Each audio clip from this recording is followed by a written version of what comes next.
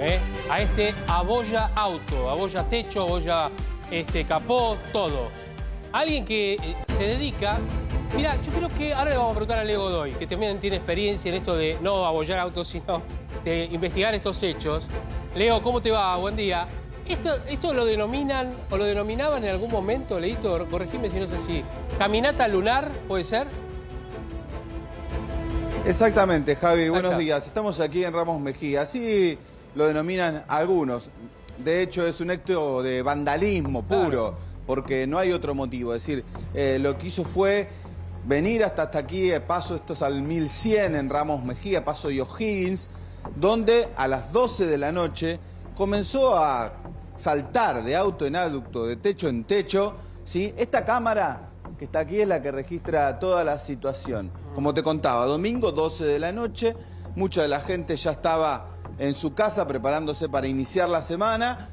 ¿Y qué pasa? De repente cuando empiezan a mirar las cámaras se encuentran con que hay una persona que va saltando cada uno de los techos de los vehículos estacionados en este lugar. El primero que se ve es este auto, ¿sí? que está estacionado ya hace algún tiempo y que quedó aquí, pero detrás la imagen lo va a mostrar a esta persona, si ya arriba de un, vehículo que estaba acá, que en este momento no está, no es esta camioneta, y después va a saltar con mucha violencia sobre este otro auto, que este auto ustedes por, quizás por el color y por, lo gris, digamos, la cámara no, va a poder mostrar, pero les puedo asegurar que todo este capot está totalmente abollado. Aquí lo han estado mirando, sí, pero tiene bollos por todos lados. Aquí ha pisado en varios lugares, aquí se ve la marca, aquí quedó marcada en la pintura, no sé si se va a poder ver el detalle, pero resquebrajada la pintura lo cual genera un daño muy importante. Hace minutos nada más estaba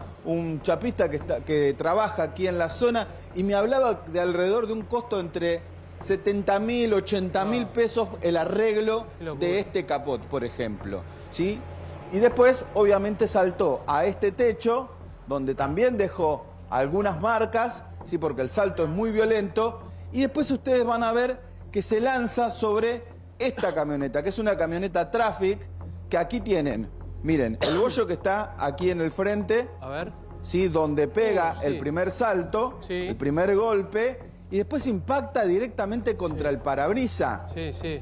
¿Sí? Que lo termina rompiendo y astillando. Lo hace inutilizable a este vehículo. Mirá, acabamos de ver justamente lo que estás vos mostrando. Cómo cae y golpea con la rodilla el parabrisas, ¿no? Claro. Digo, pero ¿se sabe quién puede ser? Si es alguien de la zona, alguien que cayó al, lugar. Mira, se cree que, por lo menos lo que creen los vecinos, es que alguien es alguien de la zona, sí. que estaba obviamente bajo algún efecto de alguna sustancia o borracho, pero obviamente era alguien que no estaba en sus cabales. Y después salta sobre la camioneta, Javi.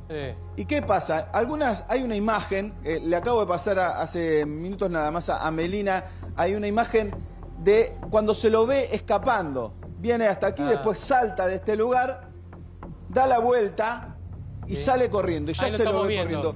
Ahí se puede ver en esa imagen que se trata de una persona joven, sí. sí. donde... Tiene una corrida... Donde se lo ve ya corriendo. Es decir, era consciente igual del acto que llevaba adelante, porque por algo sale corriendo de este lugar, ¿no? El tema, ¿sabes qué? Te digo, que eligió esa cuadra, porque después pasó por al lado de otros autos, que también estaban estacionados y no hizo absolutamente nada. Ahora, Javi, eh, Leo, les pregunto, si es, alguien que está ahí haciendo eso y hay una hipótesis de que puede ser un vecino, ¿nadie lo reconoce? Nadie, digamos, dice, Mira, es esta persona. Algunos vecinos, algunos, algunos datos tienen, algunos datos tienen, pero lo que decían es, bueno, queremos ser cautos porque queremos estar completamente seguros de la persona y no señalar a otra que no lo es. ¿sí? Pero en principio lo tienen más o menos ubicado desde aquí de algunas cuadras, ¿sí? Y por lo menos hablan de que llegó a este lugar ya eh, con, alguna, eh, con algún estado que denotaba que no estaba bien. Eh, aparentemente, borracho igual habrá que, eso corroborarlo, o por lo menos no sé si ya a esta altura se va a poder saber. Borracho Pero lo cierto es que tomó la decisión de vandalizar. Sí. ¿Y por qué eligió estos autos? Porque estaban en esta fila, porque estaban así. Uno pegado a otro. Estaban uno, dos, tres, Claro. cuatro autos en fila que le daba la posibilidad de ir saltando Sí. de uno en uno, ¿no? Sí. Eh, Leo, por yo- eso tomó esta decisión y eligió este lugar. Yo te digo, borracho no parece. Porque no se tambalea ni nada. ¿Vos decís que lo hizo intencionalmente? ¿Así? Sí, ¿Por salvo hacerlo? que esté con algún efecto de alguna droga o algo, este, o de alguna medicación, pero borracho no, porque a la segunda, la forma en que salta y después que corre, no parece que estuviera alcoholizado. Ahora, que haya tomado un poco de alcohol puede Claro. ser. Pero, pero por eso digo, este tipo de hechos, yo yo digo es preocupante porque entre los que rayan Sí. los autos, rompen los espejitos, ¿sí? Eh, y los que hacen esto, ¿te acordás, Leo, que hace antes de la pandemia había algunas bandas que hacían lo mismo en el sur del Gran Buenos Aires y en especial en la ciudad de La Plata? ¿Te acordás que después se, se- se- se investigó y se dieron cuenta que eran chicos, chicos menores de edad que, que provocaban esto Sí. como una diversión, ¿te acordás? Sí, sí, exactamente. Eh, la misma situación. Elegían determinados lugares, saltaban sobre los vehículos o los vandalizaban Sí.